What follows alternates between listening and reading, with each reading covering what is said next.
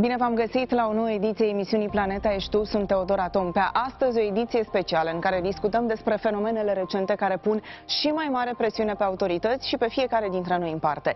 Incendiile din Grecia și cel mai recent raport ONU privind schimbările climatice.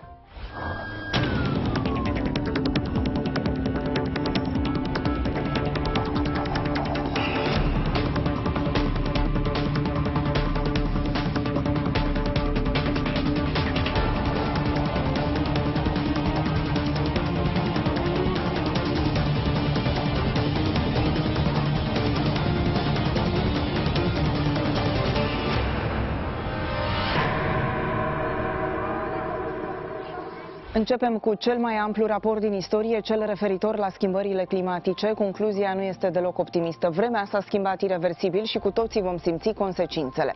Valurile de căldură, inundațiile și alte fenomene extreme vor crește într-un mod fără precedent în ceea ce privește magnitudinea, frecvența, perioada anului în care lovesc și zonele afectate. Încălzirea globală ar putea să atingă pragul de plus 1,5 grade Celsius în jurul anului 2030, cu 10 ani mai devreme decât se estimase, amenințând cu noi dezastre fără precedent. Este motivul pentru care a fost decretat cod roșu pentru umanitate. Am discutat despre acest lucru cu Roxana Bojariu, climatolog. Codul roșu se referă la uh, faptul că trebuie să reducem emisiile acum. Acest raport este uh, prima parte a uh, uh celor trei uh, volume Uh, deci primul volum din cele trei, cel care uh, vine cu informația actualizată științifică, prim raport, uh, care aduce rezultatele a 14.000 de studii științifice, a selectat și a adus cele mai robuste informații din lucrările deja publicate și acele informații care să fie și relevante pentru decidenți. Omul, prin activitățile sale industriale, a încălzit atmosfera, oceanul și uh, continentele. De raportul vine cu o mai uh, bună precizare a sensitivității climatice, ce nu mai dă loc de uh, speculații că am putea să avem uh, uh, o creștere uh, relativ confortabilă a temperaturii, adică mai mică, în condițiile în care cresc emisiile. Bugetul acesta pe care îl avem de 500 de miliarde de uh, tone de uh, echivalent în dioxid de carbon, trebuie să ne încadrăm. De aceea e esențial ca în anii aceștia, uh, în, uh, începând cu 2021, să avem uh, reduceri sistematice. Ce trebuie să facem pentru a reduce emisiile de dioxid de carbon? E nevoie de decarbonizarea nu doar a economiei, ci a tuturor activităților, inclusiv ale noastre personale. Individuale, da. exact. Da. Dacă vorbim de economie, evident că mergem spre o economie care să fie decuplată de acești combustibili fosili, fenomene extreme în general și fiecare zecime de grad în creștere în temperatura medie globală contează pentru că în spate are intensificări ale fenomenelor extreme precum valurile de căldură precum uh, uh, intensitatea precipitațiilor, secetele uh, agricole în unele zone uh, și, uh, evident, creșterea nivelului oceanului planetar, uh, care vine cu probleme mari. Avem uh, uh valuri de căldură care vin cu uh, reducerea precipitațiilor, uscăciunea aceea de care se vorbea și cu uh, intensificări de vânt și cu favorizarea incendiilor de vegetație. Și aici ai un uh, fenomen care se amplifică, din păcate, și uh, pune probleme mari infrastructurii, dar și ecosistemelor. Avem deja uh, praguri peste care am trecut. De exemplu, uh, încălzirea oceanului planetar nu mai poate fi adusă înapoi, să zic așa, adică nu mai poate fi răcin. Poți să îmbunătățești ca un bonus da. și sănătatea publică locală. Avem de-a face cu procese care Um, merg foarte rapid și de aceea trebuie să ne menținem în acel buget de carbon. Ne asigură că uh, dacă noi vom reuși să stabilizăm emisiile, uh, atunci vom vedea efectele cam în două decenii cam în câteva decenii. Timp. Vor fi uh-huh. efecte care rămân uh, sute și mii de ani, Probabil precum oceanul. Iar așteptările pentru țara noastră în contextul raportului ONU nu sunt nici în acest caz optimiste. Valuri de căldură, furtuni, secetă sunt doar câteva dintre fenomenele care vor predomina. Bogdan Antonescu, expert în fenomene meteo extreme, ne explică în detaliu. Raportul ONU despre schimbările climatice, un raport în care se vorbește despre cod roșu. Acum știu că e greu să spunem dacă va fi uh, dezastruos pe termen lung, dar cred că lucrurile, cum au încercat specialiștii să dea de înțeles, cred că lucrurile sunt cumva la o limită la care încă mai putem acționa. Adică nu putem să mergem doar pe partea negativă. Ajungem cumva la inactivism și atunci, din nou, nu e bine pentru că nu, nu luăm nicio măsură să, să acționăm pentru a reduce temperatura sau uh, această schimbare a temperaturii față de perioada uh, preindustrială, adică 1850-900, de să păstrăm această diferență de temperatură undeva la 1,5-2 grade. Ce se întâmplă peste 2 grade, deja sunt diferite scenarii și în, acest, în aceste scenarii apar problemele, pentru că s-ar putea ca unele sisteme să nu mai rămână în echilibru. Deja problema cu topirea um, calotelor, topirea ghețarilor, lucrurile acestea sunt cumva irreversibile, adică chiar dacă acum am opri toate emisiile, tot am mai avea influențe și asupra temperaturii și implicit asupra ghețarilor și nu se vor mai reface. Deci probabil că pentru unele dintre fenomenele din, din atmosferă am ajuns la un punct de la care nu mai există cale de întoarcere. Pentru celelalte însă, valuri de căldură, precipitații intense, secetă, există cumva o cale de întoarcere și chiar um, unii dintre autorii raportului, când au vorbit la conferința de presă, acum câteva zile, exact asta au spus, că există scenariul acesta cu păstrarea temperaturii um, sau să spunem așa, abaterea aceasta 1,52 grade Celsius se poate face. În condițiile în care până în 2050 ajungem la um, emisii zero, deci nu mai avem emisii de dioxid de carbon, uh, reducem emisiile de metan și atunci lucrurile s-ar putea să o ia pe o, o, să ajungem la o stare de echilibru, să rămânem undeva aproape de 1,52 grade și atunci în condițiile acestea ne putem adapta la, la noile condiții de temperatură și la noile condiții de vreme. Lucrurile ar fi ideale în această situație. Însă totul depinde de ce se va decide la Glasgow în următoarele luni, când se vor întâlni șefii de stat și vor discuta pe baza acestui raport ce trebuie să facem, pentru că măsurile la nivel global sunt necesare în acest caz. Eu nu știu cum cineva, uitându-se la ce s-a întâmplat vara aceasta în Europa, în America de Nord, mai poate să creadă că suntem într-o variabilitate naturală atâta timp cât avem valuri de căldură cumva fără precedent în anumite regiuni, cum ar fi Canada, recordul de 49 de grade, avem precipitații intense care apar odată la 20, 30, 40 de ani um, și care sunt din ce în ce mai frecvente în, în partea centrală a Europei, avem valuri de căldură aproape în fiecare an și valuri de căldură cu temperaturi foarte ridicate, uh, asistăm la mai multe incendii de vegetație, de incendii de pădure, deci mi-e greu să cred că, numai uitându-ne în 2021, e clar că am trecut dincolo de, de um, ideea aceasta că avem o variabilitate naturală peste care se suprapune, să spunem așa, semnalul schimbărilor climatice și nu ne putem da seama când, uh, când, e, când sunt schimbările climatice și când e variabilitatea naturală.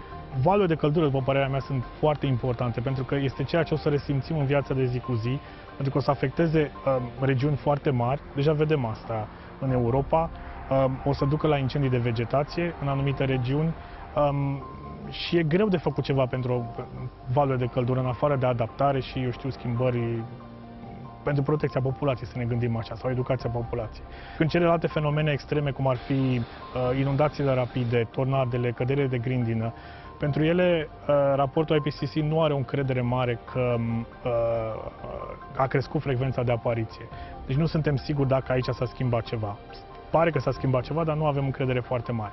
Și pe de altă parte, aceste fenomene afectează arii destul de reduse. Valurile de căldură, inundațiile pe zone extinse și uh, seceta sunt subliniate în, în raportul acesta ca fiind foarte importante și vor afecta România destul de, de urât.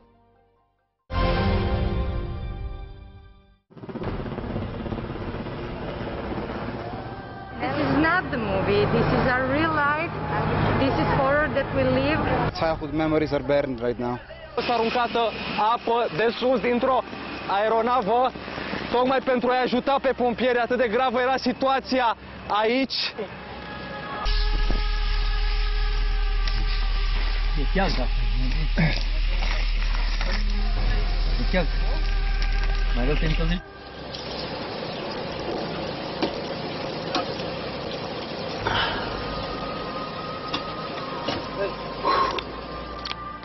Este infernal. Acasă am lăsat o soție, un copil de 2 ani și o lună, care non-stop îmi trimit mesaje, mă sună, nu pot să le răspund.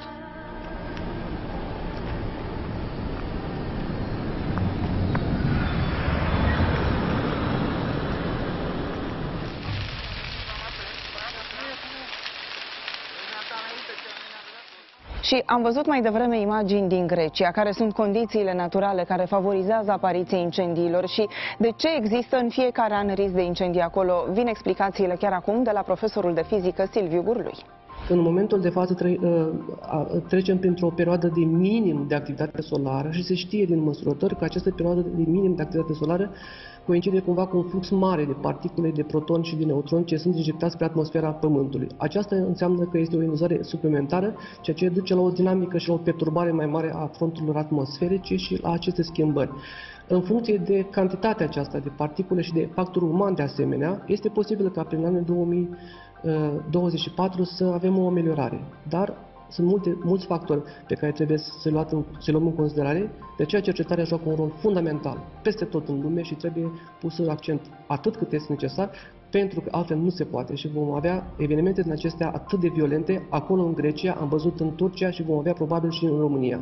Trebuie studiat foarte, foarte precis solul, pentru că uh, oamenii și-au pus un amprent uh, dramatic asupra calității solului, prin agricultură, prin defrișări.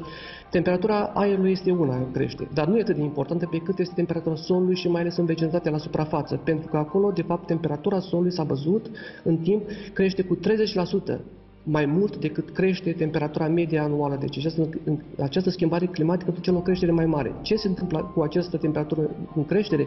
Aceasta nu cauzează altceva decât la o explozie de, de compuști pe bază de carbon din sol. Cantitatea de dioxid de carbon și de compuși în, în general în sol este de două ori mai mare decât în atmosferă în acest moment. Deci vă imaginați că dacă declanșăm ce este în sol, e posibil să o rățim foarte, foarte mult trebuie făcute analize foarte precise pentru a adapta fie uh, planta, plantația de, de pomi, fie vegetație pentru un anumit tip de sol. Alte, eu cred că asta e singura soluție pe care o avem la dispoziție și natura ne ajută, de fapt, să o ajutăm.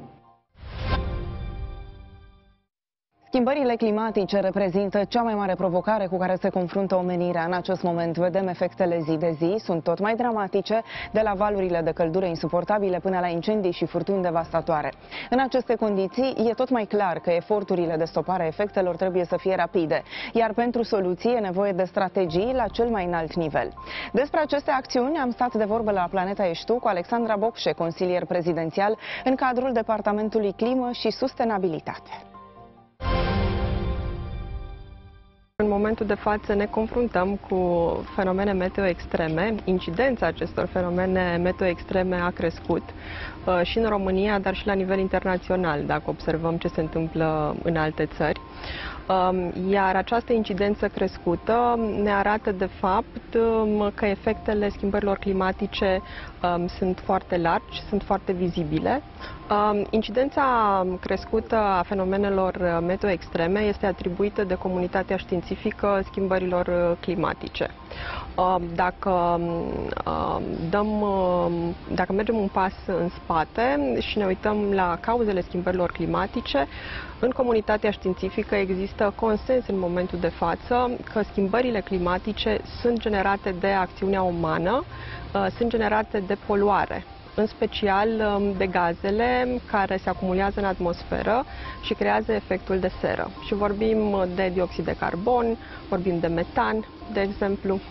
Efectul acesta al gazelor cu efect de seră, de fapt cauza aceasta de uh, poluare, în primul rând, este cea mai periculoasă? Putem să considerăm ca fiind una dintre cele mai periculoase cauze? Putem să vorbim de faptul că um, au o implicație directă asupra schimbărilor climatice uh, și schimbările climatice um, uh, deja vedem semnele lor și vor afecta um, foarte multe aspecte ale vieții noastre în comunitatea științifică, în comunitatea internațională, există în momentul de față consens că schimbările climatice sunt una dintre cele mai mari provocări, dacă nu cea mai mare provocare cu care ne confruntăm în prezent. Um, când vine vorba de um, prevenirea schimbărilor climatice și dacă vorbim în special de politicile de mitigație, adică de reducere a gazelor cu efect de seră, este foarte important um, să acționăm împreună, pentru că aceste gaze, odată emise, uh, nu cunosc bariere naționale și este esențial să ne sincronizăm acțiunile cu alte state. Avem uh, două linii mari de acțiune. Este linia care se referă la mitigație, adică a, de reducere a emisiilor de dioxid de carbon și alte gaze nocive și avem politici care duc la această reducere și avem politicile de adaptare. Dacă e să explicăm telespectatorilor ce înseamnă adaptarea, o măsură de adaptare poate să fie, de exemplu, construcția la nivel de orașe a unor sisteme de drenaj superioare, care să ne ajute să facem față unui volum mare de ploi. Dar fiecare dintre noi, poate nu ne-am dat seama, dar deja am luat măsuri de adaptare a spațiului nostru, a habitatului nostru la schimbările climatice, de exemplu prin uh, cumpărarea unui ventilator care să ne ajute să facem față căldurii verii sau instalarea unui aparat de aer condiționat. Pentru că ați menționat și de politicile în privința mitigației, care ar fi lucrul important pe care ar trebui să-l reținem în acest sens? Um, cred că este foarte important um, să folosim tehnologia pe care o avem, um, în sectoare în care o putem aplica în momentul de față ca să reducem emisiile de dioxid de carbon în special și de asemenea trebuie să investim foarte mult în cercetare și dezvoltare de noi tehnologii uh, care să ne permită o reducere abruptă, o reducere masivă um, într-un interval de uh, 10-30 uh, de ani uh, a emisiilor de dioxid de carbon. Deci, în momentul de față, încercăm, practic, să limităm um, scala efectelor uh, schimbărilor climatice. Um, și doar ca să, ca să vă faceți o idee, 2020 a fost un an în care am văzut o încălzire în raport cu momentele preindustriale de 1,2 grade Celsius și avem anul acesta aceste efecte. La 4-5 grade Celsius încălzire în raport cu momentul preindustrial, efectele vor fi multiple, vor fi mult mai largi și foarte greu de controlat. Și cred că e foarte important de explicat că schimbările climatice sau uh, încălzirea globală, efectul nu este doar că o să ne confruntăm cu veri puțin mai călduroase și o să avem nevoie de mai mult aer condiționat. Um, sunt alte fenomene în cascadă care sunt antrenate, uh, precipitații, volume foarte mari în intervale foarte scurte. Um, sunt antrenate focuri extinse de pădure care pun uh, probleme adiționale. Uh, focuri foarte extinse de pădure creează practic propria lor vreme, propriile lor fenomene meteorologice. Deci trebuie să avem foarte mare grijă um, să nu ajungem într-un punct în care se declanșează vari fenomene în cascadă pe care nu le putem controla cu tehnologia pe care o avem la un moment dat. O mașină de curse făcută din gheață le atrage atenția londonezilor asupra încălzirii globale. Ideea creării acestei sculpturi aparține unei echipe de Formula E și sponsorului acesteia, care cu această ocazie le-au propus englezilor și un concurs de imaginație.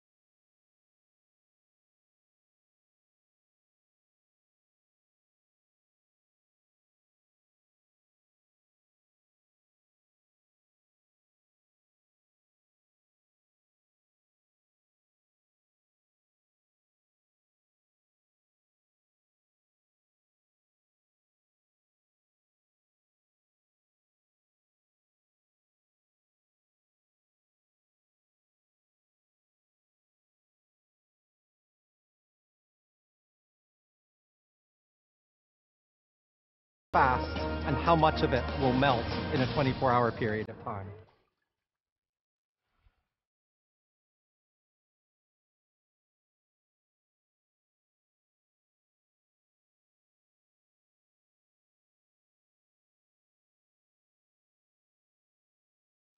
It's an incredible way for us to be able to highlight exactly what's going on and to show real time um, the effects of climate change on the world.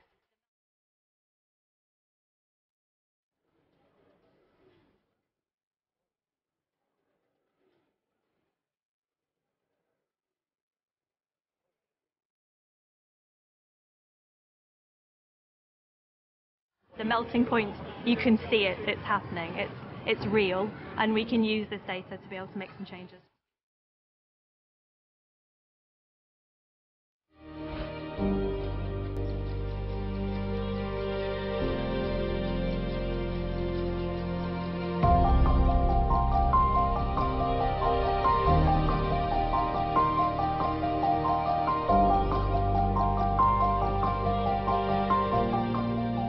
Michael Mahoney este un australian care vorbește cu broaștele, ca să fim mai preciși, le cheamă, iar ele răspund datorită sunetelor pe care profesorul de biologie le imită foarte bine. Numai că omul îndrăgostit de mediul înconjurător a realizat ceva în ultimii ani, broaștele atât de dragi lui nu mai răspund la fel de des ca înainte, semn că în natură se petrec schimbări și în niciun caz unele care să ne liniștească.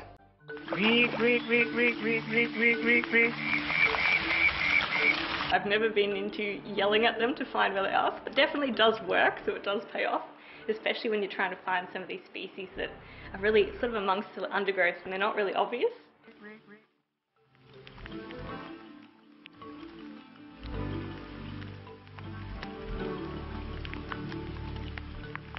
When we don't hear the sounds of nature, we know something is wrong in our environment. Um, so they are a canary in the mine. They're telling us that we are not looking after this planet very well.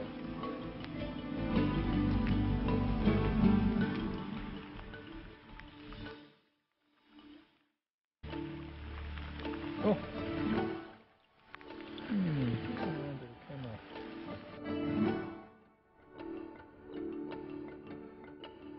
I discovered a frog, and within two years of it being discovered, that frog um, uh, went extinct. And so, very early in my career, I became aware of just how vulnerable some of our frogs were.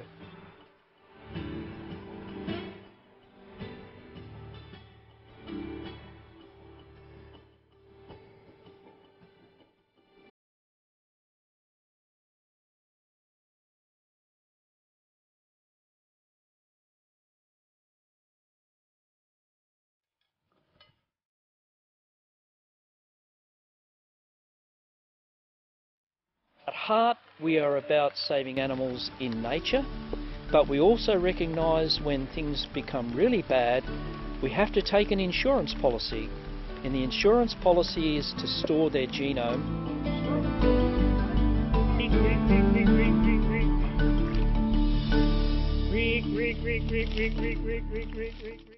Aici se încheie o nouă ediție emisiunii Planeta Ești Tu. Vă așteptăm cu sugestii despre cum putem să avem mai multă grijă de planeta noastră pe paginile de Facebook și de Instagram. Până data viitoare, haideți să găsim mai multe soluții pentru a avea o planetă mai curată.